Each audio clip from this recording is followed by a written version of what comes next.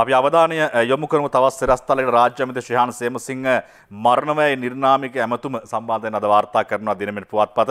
මේ සම්බන්ධයෙන් විමර්ශනයක් ආරම්භ බව පොලිසිය උසාවියට දන්වයි කියලා සුභාෂ්ණි සේනානායක තමයි තොරතුරු වාර්තා කර තිබෙන්නේ. රාජ්‍ය අමිතවරුන්ටත් කෝල් කරලා මරණවා කියලා කියනවලු. බලන්න පවතින තත්ත්වය ඔහොම තියෙදි තමයි සමහර අය කියන්නේ. එක එක ජාතිය නීති ගමටත් දෙන්න ඕන අරටත් දෙන්න ඕන මෙහෙටත් දෙන්න ඕන කියලා.